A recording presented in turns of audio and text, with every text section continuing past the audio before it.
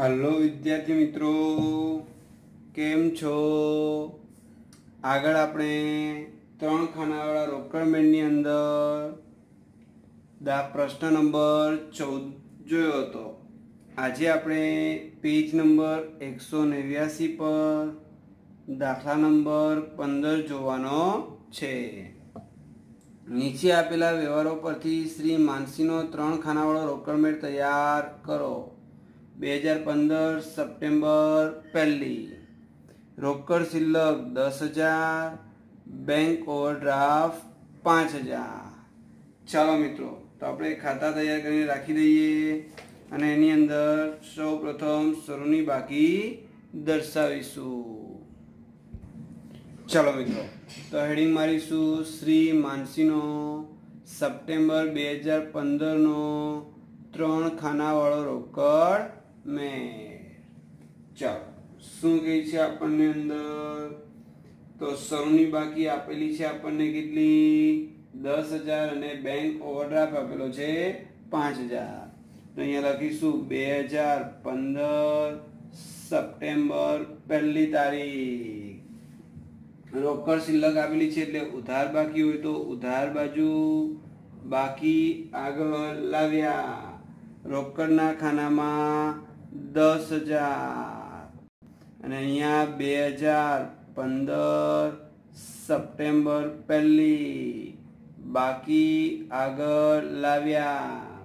બેંકના ખાનામાં પાંચ હજાર. ચલો, તારીખ બે.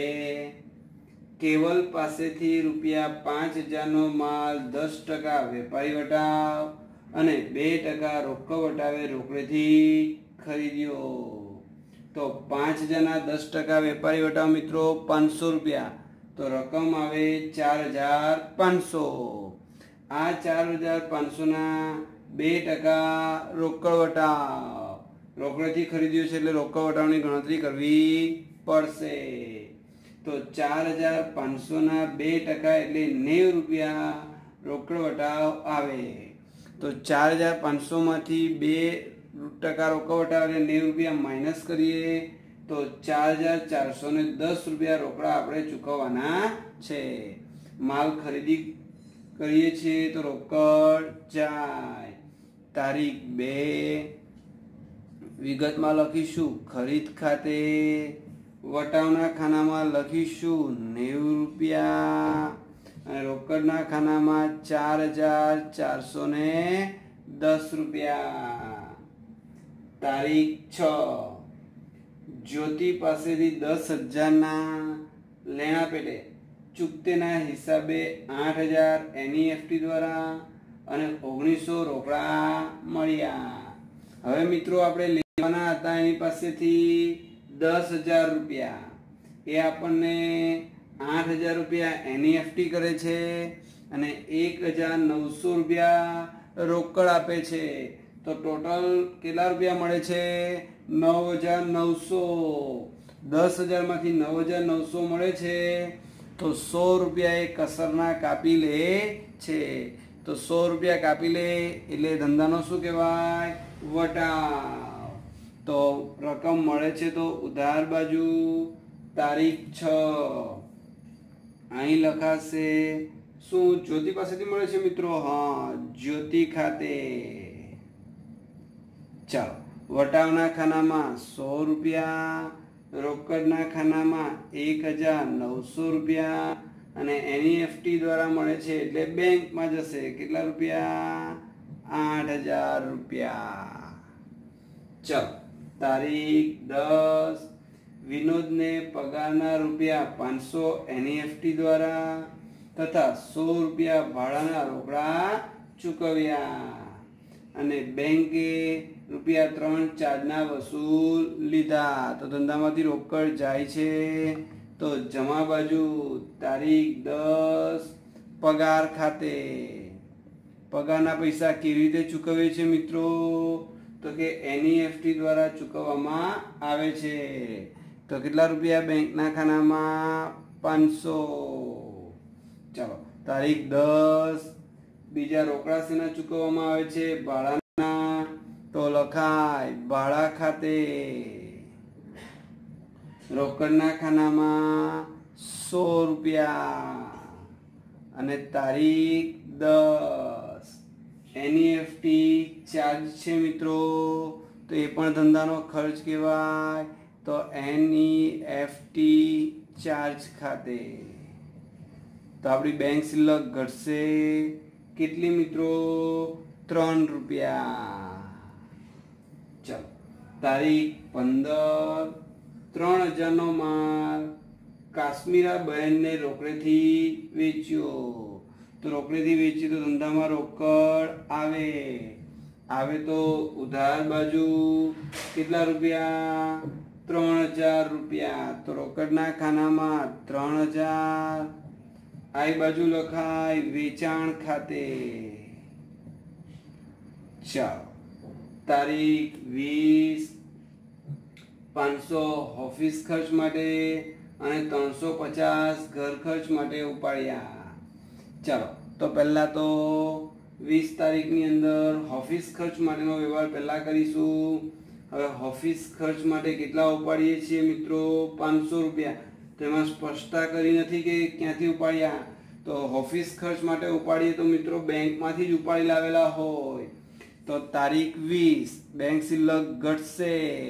તો બેંકના ખાનામાં લખાશે પાંચસો રૂપિયા અને વિગતમાં લખાય રોકડ ખાતે. અને ધંધામાં રોકડ આવે તો ઉધાર બાજુ પાંચસો રૂપિયા. વિગતમાં લખાય બેંક ખાતે. આ વ્યવહાર કેવો છે? જમા ખર્ચી. એટલે બંને બાજુ લખાય જ, ખ. ચાલો. ત્યાર પછી આગળ જઈએ મિત્રો. તો એમાં શું કીધું છે? ત્રણસો પચાસ ઘર ખર્ચ માટે ઉપાડ્યા. તો એ પણ આપણે બેંકમાંથી જ ઉપાડ્યા છે એવું સમજવાનું છે. અને બેંકમાંથી ઘર ખર્ચ માટે ઉપાડીએ તો માલિકનો શું કહેવાય? ઉપાડ. બેંક શિલ્લક ઘટે.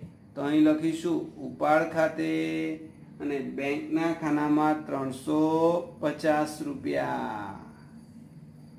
તારીખ પચીસ. યંત્ર ખાતે કઈ તારીખ? શું કીધું છે આપણને તારીખ પચીસની અંદર યંત્ર ખાતાનો મુદ્દો? ત્રણ હજારનું યંત્ર ખરીદ્યું અને યંત્રને બેસાડવાની મજૂરીના બસો પચાસ ચૂકવ્યા. કોઈ પણ મિલકત ખરીદતા કરવામાં આવતો ખર્ચ મિલકતની કિંમતમાં વધારો કરે છે. એટલે મજૂરીની રકમ અહીં અલગથી દર્શાવવાની નથી. મિલકતની કિંમતમાં જ પ્લસ કરવાનું છે. હવે અહીં કઈ માહિતી નથી આપી એટલે આ વ્યવહાર કેવો હશે? રોકડેથી ચૂકવેલા હશે મિત્રો. ચેકથી નથી ચૂકવેલા એવું કોઈ માહિતી નથી એટલે રોકડે ચૂકવી દીધા છે. તો લખીશું જમા બાજુ વિગતમાં યંત્ર ખાતે ત્રણ હજાર વત્તા બસો પચાસ. તો રોકડના ખાનામાં આવશે મિત્રો ત્રણ હજાર બસો પચાસ. બેંકમાં ડેશ. તારીખ પચીસ. ત્રણ હજારનું યંત્ર ખરીદ્યું અને યંત્ર બેસાડવાની મજૂરીના બસો પચાસ થઈ ગયું મિત્રો. સોરી ફરીથી ત્રીસ તારીખ.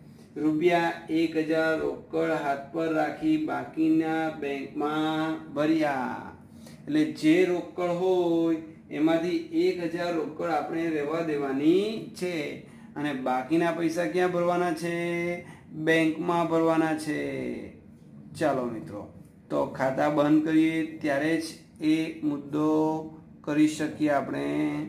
તો સૌપ્રથમ વટાવમાં તો બંને બાજુનો સરવાળો કરી દઈએ. સો રૂપિયા અને નેવું રૂપિયા. હવે જેટલા રૂપિયા હાથ પર રાખવાના કીધા હોય, તેટલા રૂપિયા પહેલાં લખી નાખવાનું મિત્રો. આ રોકડ ખાનું છે, તો અહીંયા લખીશ, બાકી આગળ લઈ ગયા. મને કેટલા રૂપિયા હાથમાં રાખવાના કીધા છે? એક હજાર. તો અહીંયા એક હજાર લખી નાખું. અને તારીખ, છેલ્લી તારીખ, ત્રીસ તારીખ. અને હવે હું રોકડનો ઉધાર બાજુનો સરવાળો કરીશ મિત્રો. તો રોકડનો ઉધાર બાજુનો સરવાળો કરીશું. તો અહીંયા લખીશું કેટલા રૂપિયા? તો રોકડમાં પંદર હજાર ચારસો રૂપિયા. ચાલો, એના પછી આગળ જઈએ મિત્રો. તો શું કહે છે આપણને? હવે એ પંદર હજાર ચારસો રૂપિયા હું અહીં દર્શાવીશ મિત્રો. પંદર હજાર ચારસો. હવે એક હજાર રવા દેવાના છે. તો મારી આવક રોકડ કેટલી આવી? પંદર હજાર ચારસો. એમાંથી આ મેં ખર્ચ ચૂકવ્યા. અને એક હજાર રૂપિયા રવા દેવાના છે. એટલે એ પણ હું માઇનસ કરીશ. એટલે પંદર હજાર ચારસો માઇનસ ચાર હજાર ચારસો દસ માઇનસ સો રૂપિયા માઇનસ ત્રણ હજાર બસો પચાસ અને માઇનસ એક હજાર. તો રકમ આવે છે છ હજાર ચાર છસો ચાલીસ. તો મારે છ હજાર છસો ચાલીસ રૂપિયા બેંકમાં ભરવાના છે.